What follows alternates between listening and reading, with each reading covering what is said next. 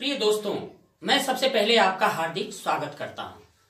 जो व्यक्ति शारीरिक श्रम कम करते हैं, जो प्रदूषण के वातावरण में रहते हैं, जो हमेशा कुर्सी पर बैठकर काम करते हैं, जो दूषित खाना खाते हैं, वो यदि बीमार होते हैं तो कारण जान पड़ता है। लेकिन हमारा किसान जो शुद्ध वातावरण में रहता है, शारीरिक श्रम भी करता है, वो बीमार होता है क्यों? यदि हम इतिहास में जाकर देखें तो पहले के किसान ज़्यादा काम करते थे, ज़्यादा भोजन करते थे और उसे पचा लेते थे, इसलिए वो स्वस्थ रहते थे।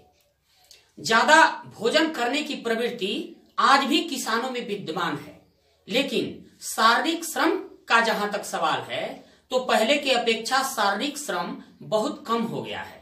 हर किसान भी मशीन पर निर्भर हो चुका है।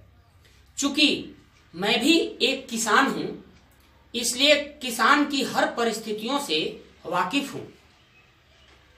किसान कुछ अनजानी सी गलतियाँ कर रहा है, जिनके कारण किसान बीमार हो रहा है, अस्वस्थ हो रहा है। दोस्तों, हर किसान गर्व से कहता है कि हमारे यहाँ दूध की सालों भर व्यवस्था रहती है। हम लोग दूध बेचते नहीं, दूध खाते हैं। बहुत सारे किसान मीट खाने के भी शौकीन रहते हैं। दूध और मीट इतना पौष्टिक आहार है कि लोग खाते हैं तो खूब खाते हैं। और अक्सर लोग रात्रि में खाते हैं। और रात्रि में खाने के बाद तुरंत बेड पर सोने चले जाते हैं। यही मेन कारण बन जाता है अस्वस्थ रहने का। दोस्तों, अब मैं जो बात बताने जा रहा हूँ, वो मोटापे से पीड़ित, जिनका वज़न अधिक है, जो गैस से पीड़ित हैं या अन्य रोग से पीड़ित है, उनके लिए स्पेशल है। वो क्या क्या गलतियाँ करते हैं?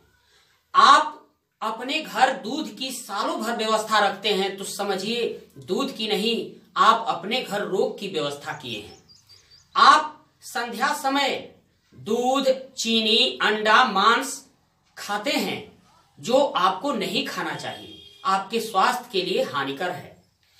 और रात्रि में भोजन के बाद तुरंत बिस्तर पर सोने के लिए चले जाते हैं, जो आपको नहीं जाना चाहिए। आपको एक घंटा, दो घंटा टहलना चाहिए, मनोरंजन करना चाहिए, फिर सोने जाना चाहिए। आप शौच के बाद साबुन से हाथ नहीं धोते, जो कि आपको धोना चाहिए। आप भोजन से पहले साबुन से हाथ नहीं धोते, जो कि आपको धोना चाहिए।